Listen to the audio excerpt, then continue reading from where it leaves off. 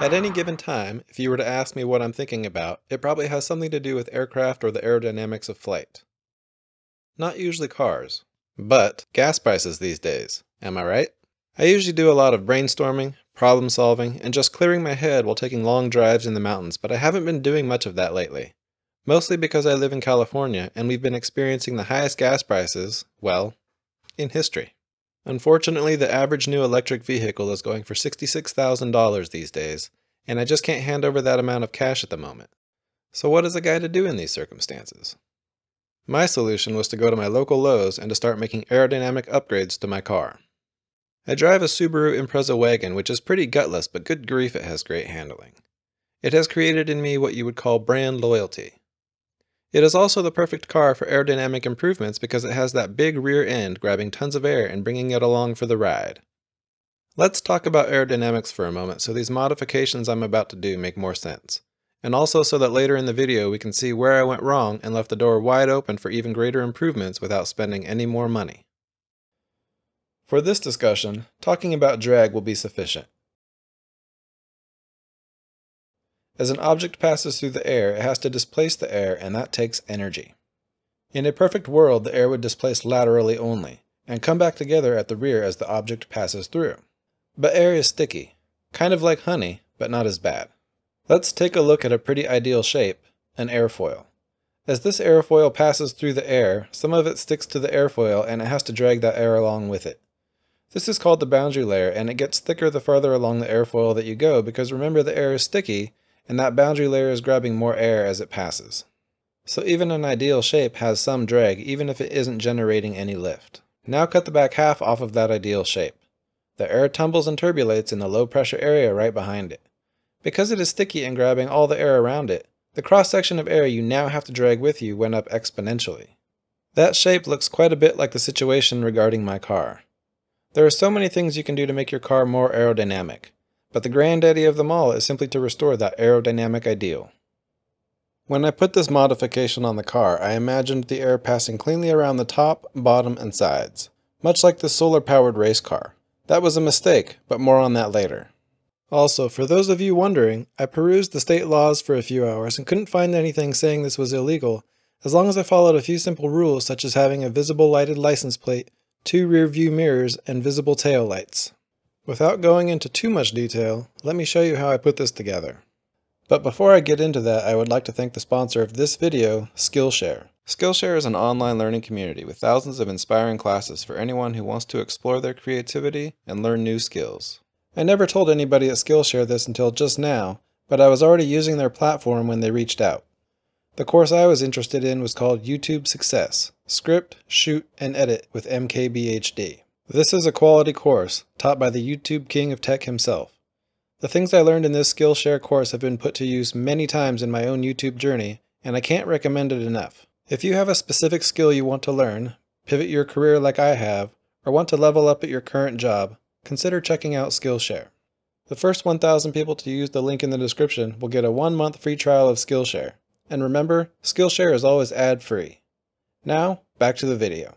For this project I needed some 1.5 inch thick insulation foam, duct tape, double-sided sticky tape, Gorilla Glue, and goop. I contoured the bottom sheet to match the bumper as closely as I could, then tacked it in place with double-sided sticky tape and finished it up with duct tape. As I went along I tried to make each sheet of foam continue at the same angle as the part of the car I was attaching it to, to prevent the air from separating if possible.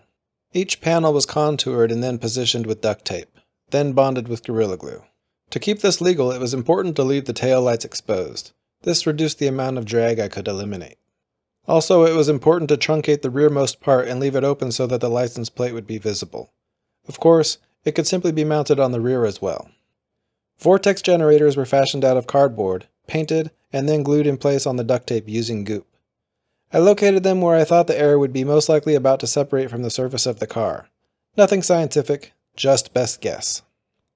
Cardboard wheel covers were also fashioned and put in place with goop. It was important to keep the car looking fresh, so I painted them silver to match the rest of the car.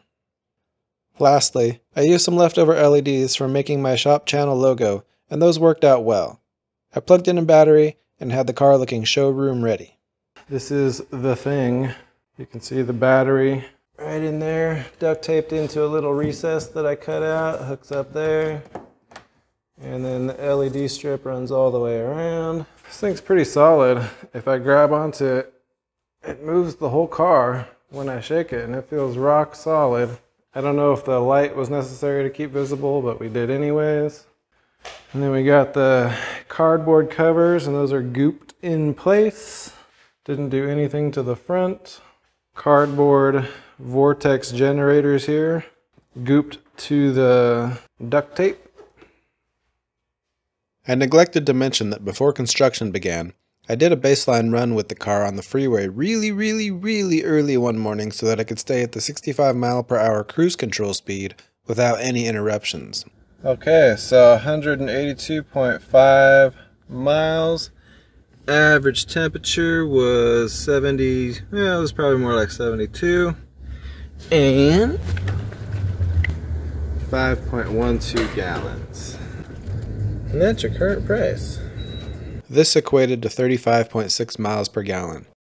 I also used the same pump at the same gas station for all the runs in this video to hopefully eliminate differing pump pressure as a variable. Then it was time for the test with the body extension.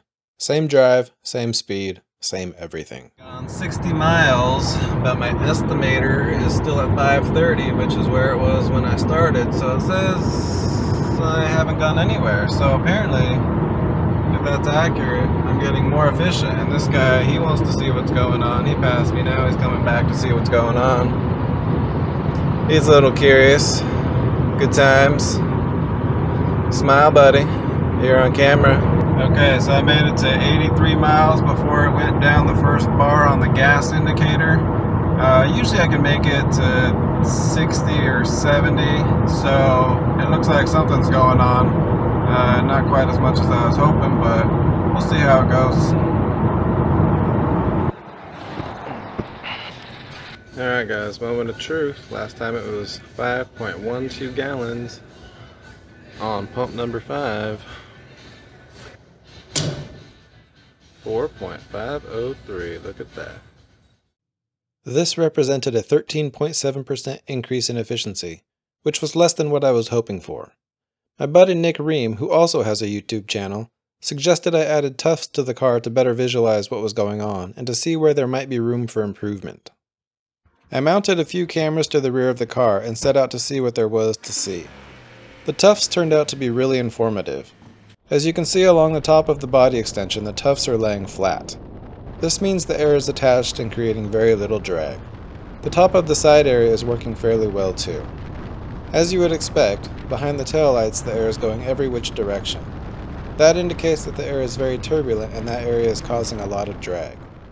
That was, however, to be expected and there isn't much that can be done about that. On the lower portion of the sidewalls, things also aren't working very well. The bumper tapers pretty aggressively, about 20 degrees, and that may be the problem or it may be the tire itself causing the problem. Either way, major room for improvement. The whopper, however, was the underside of the extension. The tufts were going every which way, even at the rearmost part. Essentially, there wasn't much, if any, clean air coming from under the car to keep that flow attached on the bottom of the extension. The bottom of my car is pretty exposed. There isn't really a belly pan to speak of to keep the air flowing smoothly, and so all the bumps, nooks, and crannies are grabbing and tumbling the air.